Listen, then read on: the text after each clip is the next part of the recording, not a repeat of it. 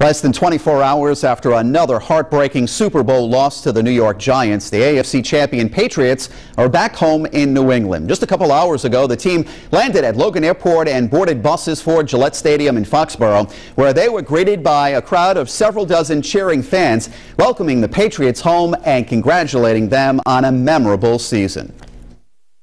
I love this organization. Thank you, Bob Kraft, and all you guys for an absolutely wonderful season. Oh, it's sad, but I'm happy for them, you know.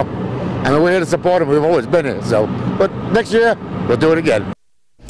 The players aren't the only ones headed home today. Thousands of fans who made the trip to the big game packed their bags today and hit the airport, making it the busiest day ever at the Indianapolis International Airport. Eyewitness News reporter Nika Nwosu joins us now from the Super Bowl host city, where she caught up with some Pats fans stocking up on souvenirs before they hit the road.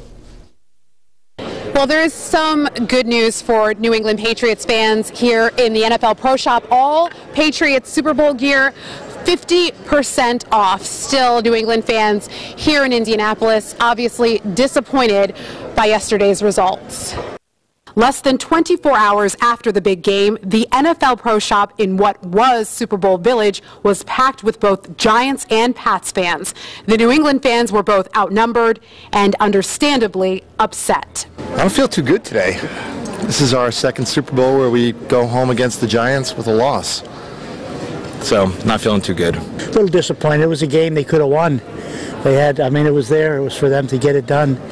And they didn't. So, but it's only a football game. Despite New England's 21-17 loss to the Giants, some Patriots fans still wanted to take home a Super Bowl souvenir. We're here for another day, so I feel like I got to do something. So we came down and we're hoping to get something uh, discounted. But uh, I don't even feel like paying 40 bucks for a T-shirt today. but if they had won? If they won, I'd have the whole closet full.